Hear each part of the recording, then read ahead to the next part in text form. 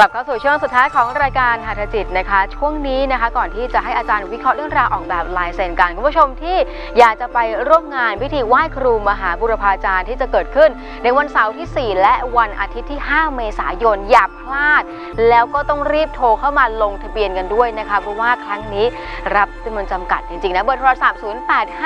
129 3697 นะคะแล้วก็ 083 199 7972 ตอนนี้หลายท่านโทรมาลงทะเบียนกันเยอะเลยนะคะหนึ่งครับ ปีมีครั้งหนึ่งนะคะ ที่เราจะได้มีโอกาสได้มาแสดงมุทิตาจิตต่อครูบาอาจารย์ มากราบไหว้นะคะบรมครูสี่ครูเทพ ต้องบอกว่าครั้งนี้เนี่ยไม่ใช่ว่าพิธีทั้งสองวัน เข้มขลังแล้วก็มีเซอร์ไพรส์จากครูอัฏฐาอย่างแน่นอน ครับทั้งวันที่4ที่5นะโดยเฉพาะวันที่ 4 นะก็จะมีการไหว้นะฮะเรื่องราวของไรเซนเป็นชีวิตเรื่องราวของการที่นะท่านขนาดได้นั่งกสิณไฟเตโชธาตุนะครับเราก็จะ มีโอกาสได้เสริมท่าให้ท่านด้วย ค่ะมาเขียนชื่อลายเซ็นอ่า บนผ้าครูนะครับครูถามก็จะมีอักขระรอบผ้าเลยแล้วท่านมาเขียนนะฮะเราจะได้เสริมในพิธีกรรมดังนั้นสิทธิ์มีครูต้องมีกันลายเซ็นหลากหลายคนมีนะฮะ ค่ะ นับเรือนหมื่นนับเรือนพันนับเรือนแสนแล้วที่4ี่หปีที่อยู่ณตรงนี้นะฮะ อืม ไปทั่วที่ทั่วไทยต่างถิ่นแดนไกลค่ะเมื่อวันนี้ก็มีชาวเนเธอร์แลนด์อ๋อ นะก็ได้คือได้ภรรยาชาวไทยค่ะก็บอกว่าจะบินกลับมาเพื่อครอบครูแล้วก็กลับไปเนเธอร์แลนด์ โอ้โหโอ้โหแหม่ เนี่ยน้องบอกว่าไม่คือว่ามีความตั้งใจก็สูตางมใช่นะฮะทุทุกกที่ทุกไทยนะฮะคือเรามาเป็นครอบครัวกัน อืมครับ นะต้องบอกทุกคนค่ะ เป็นสิทธิ์มีครูทุกคนเรามารวมใจกันนะหัวใจครูแล้วก็มามอบรอยยิ้มให้กันในวันนั้นนะคะสองวันด้วยกันนะคะเบอร์โทรศัพท์ด้านหน้านี้ โทรมาลงทะเบียนได้น้องๆ รับโทรศัพท์กันอยู่แต่ถ้าไม่ติดนะก็ใจเย็นๆนิดนึงเดี๋ยวครับโทรมาใหม่รับรองนะคะว่าติดต่อแล้วก็ลงทะเบียนกันได้ แล้วก็ครั้งนี้ทุกท่านที่ลงทะเบียนนะจะมีโอกาสได้รับนะคะ ยันที่คุณผู้ชมได้เห็นด้านหน้ายันสีครูเทพนี้ ครับ แล้วก็นะคะรูปหล่อองค์เหมือนหลวงพ่อเบิ้มของเรา นะผมศักดิ์สิทธิ์มากนะครับนะฮะอืมในการครอบเสียนหลวงพ่อเบิ้มก็เป็นวันที่ 4 นะครับ แล้วก็ครอบเสียนบรมครูนะที่เป็นครูพิราบก็วันที่ 5 นะ ชุดนี้จะได้ไป และส่วนหนังสือจ้าลายเซ็นใครมีโชว์ผมนะครับ อ่าแล้วก็รับนะในกระเป๋าผมก็จะมีของขวัญพิเศษใช่ ให้กับสิทธิ์มีครูที่มีหนังสือมีตำราเล่มนี้นะครับ จากอ่า ที่ท่านซื้อมาจากเสียนบุ๊กก็ได้ค่ะพกมาเลยอ่านะฮะเราจะได้ครับมาให้อาจารย์แบบเซ็นลายเซ็นกำกับเอาไว้ด้วยนะครัหบนังสือลายเซ็นเปลี่ยนชีวิต หาซื้อได้ c ีเอ็ดบุ๊กทั่วประเทศเลยนะครัคะบเอาล่ะตอนนี้นะ SMS ยังสามารถส่งเข้ามาได้เพราะว่าอ่าคุณผู้ชมที่จะเป็นผู้โชคดียังเหลืออีก 2 ท่านด้วยกันนะคะมากันที่คุณนำพล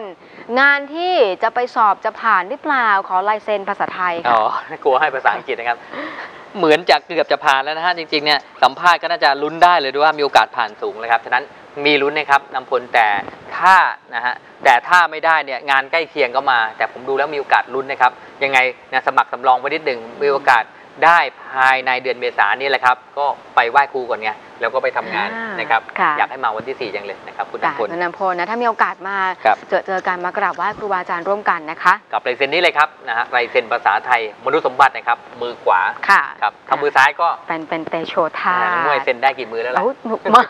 เขียนมือขวาได้อ๋ออย่างเดียวมือเอขวางมือเดียวนะฮะครับ SMS ต่อมาค่ะครับมาคุณที่จรันทรครับนะเลขบ้าน 155 ทับ57 บ้านนี้เป็นอย่างไรขอเลขมงคลด้วย เลขสวยจัง 57เนี่ยรักมากเลยนะครับหนึ่งห้าห้าเจ็ดนะครับ ค่ะ เลข 5 เป็นเลขอำนาจทรัพย์นะฮะส่งเสริมเติมเต็มก็เลือกสิ่งศักดิ์สิทธิ์พระภูมิเจ้าที่ภูมิเทวา บ้านนี้ควรจะทำบุญบ้านในช่วงนะเทศกาลสงกรารได้แล้ว เพราะว่านะอ่าเรื่องของจิตวิญญาณของบุคคลที่ร่วงรับไปแล้วนะเหมือนท่านอยากได้บุญได้กุศลตรงนี้ด้วยนะฮะยังไงก็ตามนะฮะทำซะแล้วก็เลขมงคลก็จะเป็น เลข7นะครับแล้วก็เลข 9 นั่นเองนะครับสรันทรลายเซ็นนี้เลยครับ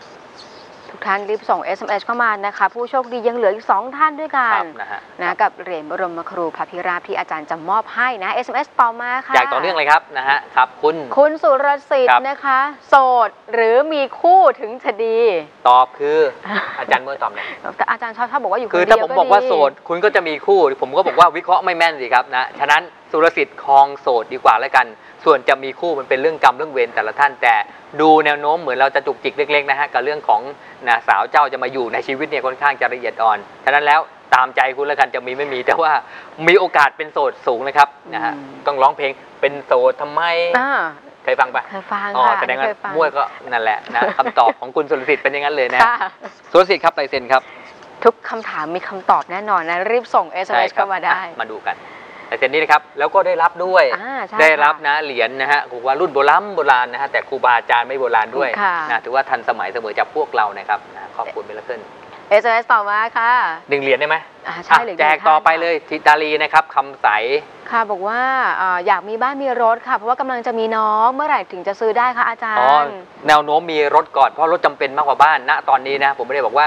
มีบ้านแล้วอะที่อยู่อาศัยทำไมเอ๊ะจำเป็นกว่ารถ เพราะว่าเรื่องการเดินทางเริ่มจะจำเป็นกับคุณมากขึ้น ฉะนั้นแล้วเป็นกำลังใจให้นะกำลังมีน้องนะฮะ น้องนะฮะดูแนวโน้มจะเป็นผู้หญิง อืม แล้วมาพร้อมกับรถนะฮะ แต่ถ้าผู้ชายนะครับ แนวโน้มให้ระวังเรื่องของการแพ้มากแต่แต่แนวโน้มเป็นผู้หญิงสูงเลยนะครับอะคุณทิตารี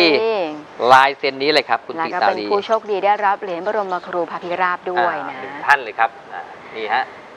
SMS ต่อมาค่ะ ต่อเนื่องด้วยเอสเวันนี้ส่งกันมาเยอะมากใช่ครับะผมคุณพิมพ์ทักษะออนนะคะ สอบเข้าครูได้แล้ว แต่ว่ายังไม่เรียกตัวอีกนานไหมคะอาจารย์อ้าวจะรู้ไหมเนี่ยว่าคุณตอบแล้วเขาบอกว่าขึ้นบัญชีไว้ก่อนอ๋อนะฮะเอาดูกันนะครับ ถามมาต่อไปนะครับ กลัวจะไม่ทันด้วยซ้ำไปเดียวนะฮะนะฮะสติปัญญามียังไงเนี่ยตอนนี้เดี๋ยวครูจะสอบอีกนะช่วงประมาณเมษายังไงก็หาที่สำรองไว้นิดนึงนะฮะมีโอกาสเรียกตัวไหมกลัวจะไม่ถึงนะฮะเกรงว่าอย่างนั้นนะฮะแต่ว่าถ้าเอาฟังดีๆนะครับถ้าลุ้นเนี่ยไม่เกินพฤศจิกายนนี้เรียกตัว แต่ถ้าเลยไปนั้นทำใจนะนะประมาณเอางี้เอาประมาณสักอ่า40%ที่จะมีโอกาสถึงตัวเรานะครับ พิมพ์อะไรนะมั่วนะฮะ คุณพิมพ์ทักษะออนอ่าค่ะพิมพ์ทักษะออนไลฟ์เซ็นเลยนะครับ เป็นกำลังใจให้กับทุกท่านด้วยนะคะ ตอนนี้ ตัวนี้ช่วงนี้ก็เข้มข้น อ่าเขาทั้งกวดวิชา ค่ะ เขาทั้งเข้ากันเด็กเล็ก เด็กน้อยนะฮะ เข้าโรงเรียนนะฮะต่างๆเนี่ยแล้วก็เป็นกำลังใจให้ทุกพ่อทุกทุกคุณพ่อทุกคุณแม่ใช่แต่ค่ะจะบอกทุกพ่อทุกแม่ไม่ได้เลยต้องคุณพ่อคุณแม่ค่ะนะฮะครับแล้วจะได้ทุกคอนบอุ้มคุ้มใช่ อ่าค้ำชูนะฮะน้องให้เป็น ผู้ใหญ่ในอนาคตกันครับ อ่าแล้วก็ทุกท่านที่กำลังสอบแข่งขันกันด้วยใช่ แบบนี้นะ แต่ว่าตอนนี้ตำราความเชื่อโบราณกันบ้างดีกว่านะคะว่าการไหว้บูชาบรมครูปู่ฤาษีตาไฟต้องทำอย่างไรบ้าง ฟังจากอาจารย์เลยค่ะ เสร็จเลยครับ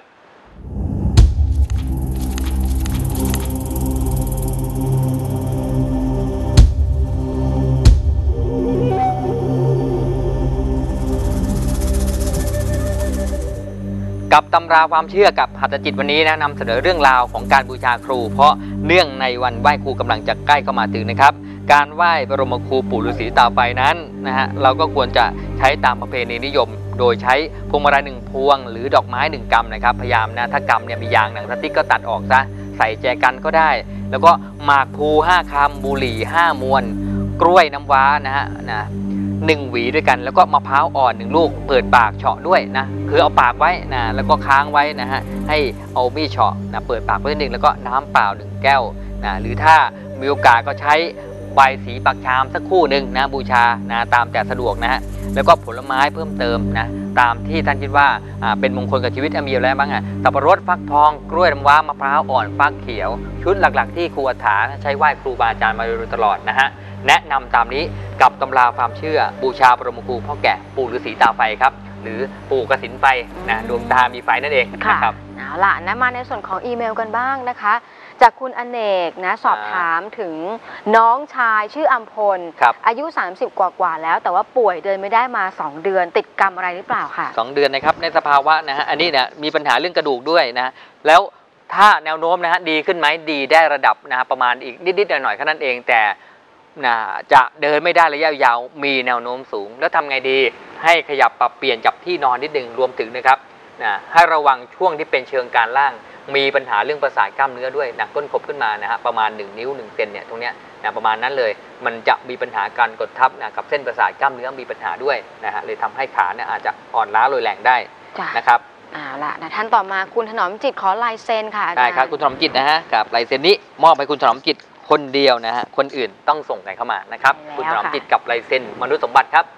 หรือว่าใครที่อยากจะทราบเรื่องราวของศาสตร์ลายเซ็นก็หนังสือลายเซ็นเปลี่ยนชีวิตได้ตรงนี้นะส่วนครับใครอยากที่จะ